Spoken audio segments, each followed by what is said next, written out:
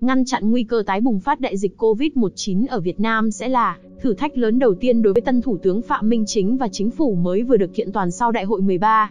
Tại thời điểm này, hai nước láng giềng của Việt Nam là Campuchia và Thái Lan đang phải đối mặt với nguy cơ vỡ trận do số người bị nhiễm tăng kỷ lục. Việt Nam và Campuchia có đường biên giới dài với rất nhiều đường mòn, lối mở nên việc kiểm soát các ca nhập cảnh trái phép rất khó khăn.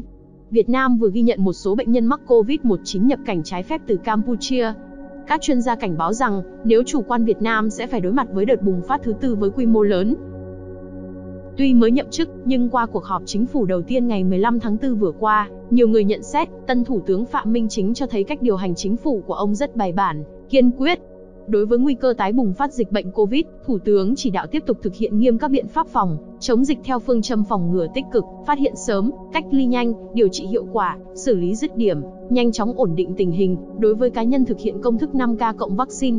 ông chính yêu cầu kiểm soát chặt chẽ hoạt động xuất nhập cảnh, ngăn chặn và xử lý nghiêm tất cả các trường hợp nhập cảnh trái phép cũng như các cá nhân tung tin thất thiệt lên mạng xã hội liên quan đến tình hình dịch bệnh trong nước.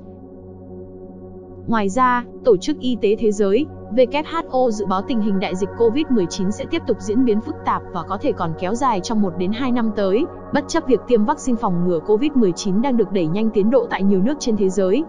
Việc ngăn chặn nguy cơ tái bùng phát, kiểm soát tình hình dịch bệnh trong năm 2021 vẫn hết sức khó khăn với tất cả các nước, trong đó có Việt Nam.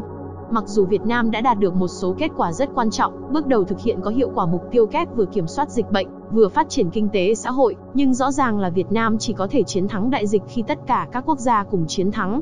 Việt Nam đang bước vào một giai đoạn phát triển mới mang tính bước ngoặt rất quan trọng với rất nhiều cơ hội thuận lợi, nhưng cũng đan xen nhiều thách thức. Nếu không tiếp tục khống chế thành công đại dịch Covid như trong thời gian vừa qua, Việt Nam sẽ mất đi những cơ hội lớn đang có trong tay.